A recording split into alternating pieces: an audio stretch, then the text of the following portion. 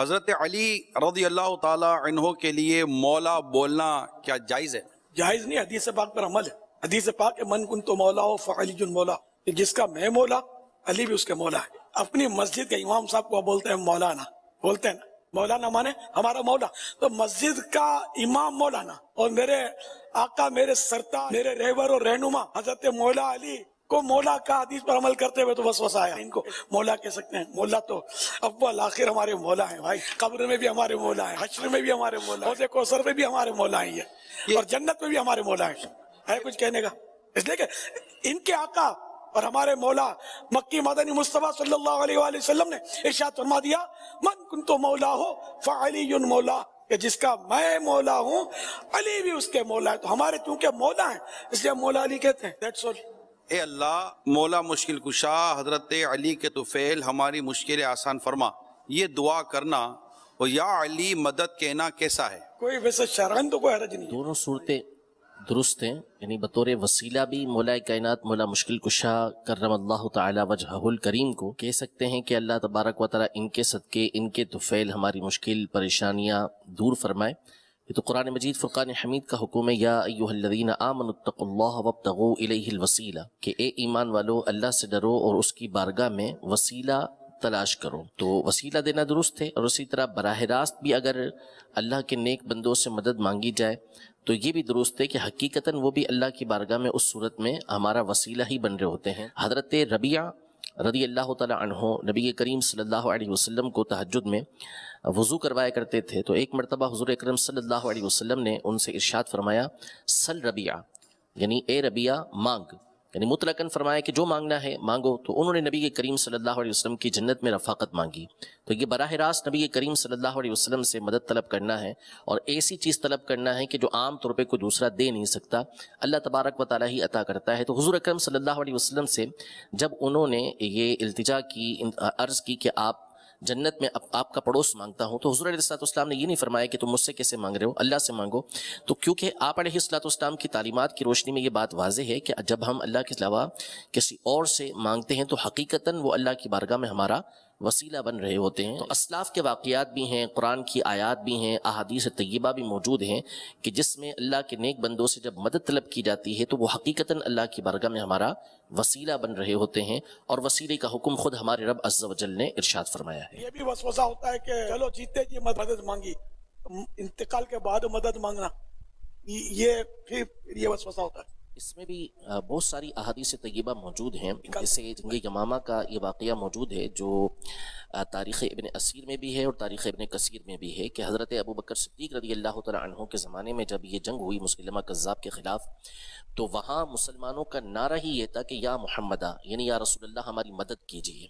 हालाँकि हजरतम को दुनिया से पर्दा फरमाए यानी हजरतम का विसाल हुए दो तीन साल गुजर चुके थे इसके बावजूद साहबा कराम रिदवान का नारा यही था। इसी तरह हज़रत उमर रदी अल्लाह तहों के ज़माने खिलाफत के अंदर जब कहत पड़ा और बारिशें नहीं हो रही थी तो हज़रत बिलाल बिन हारिस अलमुजनी रदी अल्लाह तहो ये नबी रहमत अलैहि वसल्लम के दरबार अकदस पर हाजिर हुए और हजूर की बारगाह में अर्ज़ की कि रसूलुल्लाह सल्लल्लाहु अलैहि बारिशें नहीं हो रही और लोग जो है वो भूख की वजह से मर रहे हैं तो आप अल्लाह से हमारे लिए बारिश तलब कीजिए।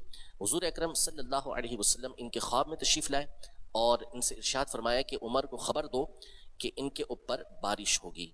इन्होंने जाके खबर दी और कुछ ही दिनों के बाद जो है वो कह दूर हुआ और बारिशें बरसने लगी। ये नबी करीम सल्लल्लाहु अलैहि वसल्लम के विसाल ज़ाहरी के बाद दुनिया से पर्दा फरमाने के बाद हज़रत बिलाल बिन हारिस मुजनी रदी अल्लाह तहों का मामला है और इन्होंने आके सहाबा कराम रिदवान के जमी गफ़ीर में हज़रत उमर रदी अल्लाह तहों को इस बात की खबर दी और हज़रत उमर रदी अल्लाह तहों ने इसको बरकरार रखा। अब ये बताइए कि अली करम वजहुल करीम के अलकाबात मौला मुश्किल कुशा शेर खुदा इनकी वजह क्या है? ये मुश्किल कुशा, यानी कि मुश्किल कुशा माने मुश्किल दूर करने वाला, कुशा माने खोलने वाला। मुश्किल कुशा ने मुश्किल खोलने वाला, मुश्किल को दूर करने वाला, मुश्किल को हल करने वाला। वरना हम सब एक दूसरे के हक में मुश्किल कुशा हैं, यूँ देखा जाए तो। मगर मौला अली मुश्किल कुशा, इनकी शान, हम सब की शान ही क्या है? हम बेशानों की सारी जो भी कुछ है, एक पलड़े में हो, और मौला मुश्किल कुशा की एक नेकी एक पलड़े में हो। तो मौला मुश्किल कुशा की नेकी ही वजनदार है। मैंने मुश्किल कुशा के माना बताकर ये कहा कि हम सब एक दूसरे के मुश्किल कुशा बात सूरतों में होते हैं। और अगर मैं किसी का मसला हल कर दूँ उसका टेंशन दूर हो गया वसवसा दूर हो गया तो मैंने उसकी मुश्किल हल की ना। आपने मतलब किसी गरीब की मदद की उसकी मुश्किल हल की ना। ये मुश्किल कुशाई हुई। शेर खुदा। ये तो हदीस पाक में ना असदुल्ला कहा गया ना हदीस पाक में हज़रत अली को। तो असद माने शेर। इसका उर्दू तर्जमा शेर खुदा हो गया शेर बहादुरी। बहादुरी से इबारत है। अरे भाई, फुला, वाह शेर दिल है। और शेर शेर। बोलते ही ना। मुहावरा है आमतौर पे। लोग बोलते हैं बहादुर को शेर बोलते हैं। तो शेर के माना बहादुर है। और मेरे आका, मेरे मौला अली रज़ी अल्लाह भी अगर शेर नहीं है तो फिर दुनिया में कोई भी शेर नहीं है। ये इतने बड़े शेर है। बहादुर, शेर शेर कुछ भी नहीं है इनके सामने। ये मतलब गुलाम मुस्तफ़ा है। मुस्तफ़ा का गुलाम शेर होता है। शेर का खतरा क्या? शेर खुद काँप उठा सामने जब नबी का गुलाम आ गया। ये तो अल्लाह के वो शेर है कि दुनिया के सारे शेर इनके नाम से थर थर कंपे। हम आशिक साहबा अहले बै आशिक अली कैसे कहलाएँ? हकीकी मोहब्बत तो ज़ाहिर इसी सूरत में कि हम इनकी सीरत पर अमल करें। तो मौला अली किस तरह नमाज़ पढ़ते थे बताए इनकी नमाजों की शान ये थी कि एक बार इनके किसी जंग में एक तीर का फल टूट कर यानी कि जो नोकदार हिस्सा होता है ना, तीर का, ये मतलब जहर लोहे का होता है, स्टील का, ये तीर, मेटल का। तो ये मतलब फल पिंडली में अंदर रह गया। अब उस वक्त ये दौर तो था नहीं कि इंजेक्शन लगाए और बेहोश करके वो बड़े एहतमाम से वो ऑपरेशन थिएटर में ले जाकर इसका ऑपरेशन किया जाए। उस वक्त भी अमल जराहत होता था। लेकिन बड़ी दुश्वारी होती थी। आसान नहीं था। तकलीफ़ इतनी थी कि आप किसी को हाथ नहीं लगाने देते थे। ये निकालना है निकालेंगे। शिद्दत से तकलीफ़ थी। फिर आपस में तय हुआ कि जब ये नमाज़ पढ़ते हैं तो इनको फिर कोई अल्लाह पाक से ऐसी लो लग जाती है इनकी को कुछ। इनको आगे पीछे दुनिया और माफिया की खबर नहीं होती। तो ये तय पाया कि इनको नमाज़ पढ़ने नमाज़ में जब मशहूर हो जाएँगे, हम ये कर लेंगे। जब मौला अली रज़ी अल्लाह सजदे में गए ना नमाज़ के दौरान, ये पहले से तैयारी थी जर्राहों की। हम मतलब सर्जन बोलते हैं वो अरबी में जर्रा, उर्दू में भी जर्रा। बोलते हैं तो सजदे तो सजदे, हमारी तरह थोड़ी था। कि तू जा, मैं आता हूँ ठगा ठगा रहे जा रहे होते उनके सजदे भी तवील हुआ करते थे। खैर, जब सजदे में गए तो ऑपरेट कर दिया, फल निकाल दिया। इनको खैर हिले भी नहीं। ये तो अपने रब की बारगाह में थे। जब नमाज़ का सलाम फिर गया तो आपकी नज़र मुसल्ले पर पड़ी तो मुसल्ले पर खून देखा। फर्नली खून कैसा आ गया, खून कैसा आ गया? तो फिर पता चला कि वो ऑपरेशन करके वो तीर का फल निकाल लिया और इनको पता भी नहीं चला। आप अपने सजदे में इतना मतलब है कि इन हिमाक था, इतना, इन्हें खुशू और खुजू की इंतहाई हालत आपकी होती थी।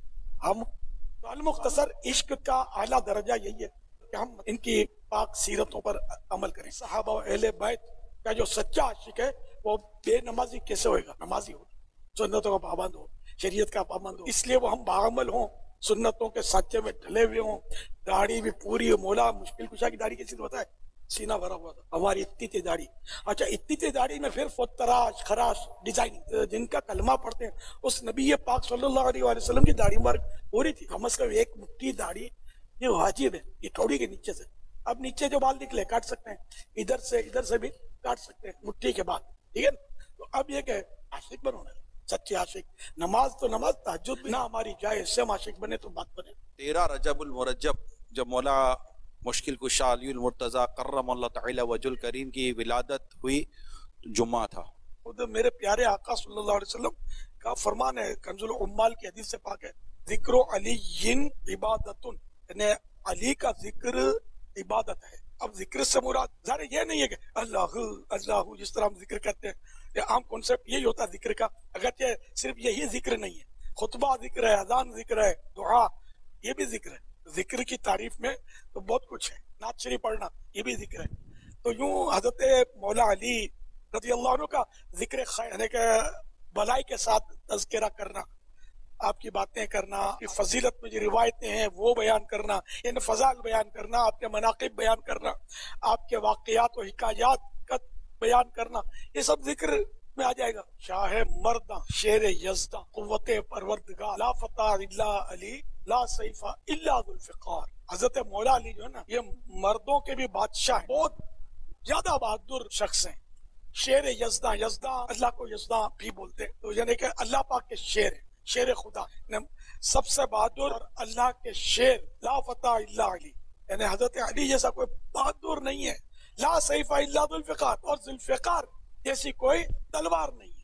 हज़रत अली की तलवार है, जुल्फिकार। एक रिवायत है, जब अमीर उमिन हज़रत सैदना अली मुर्तदा शेर खुदा करम अल्लाह वजुल करीम में एक गजबे में कुफार बदतवार को गाजर मूली की तरह काट रहे थे तो गैब से यह आवाज़ आई, ला जुल्फिकार वला फता इल्ला अली, यानी अली जैसा कोई बहादुर नहीं और जुल्फिकार जैसी कोई तलवार नहीं। है अली, मुश्किल कुशा। साया उना सर पर मेरे। ला पता इल्ला अली, ला सैफा इल्ला जुल्फिकार। नारा हैदरी। नारा हैदरी।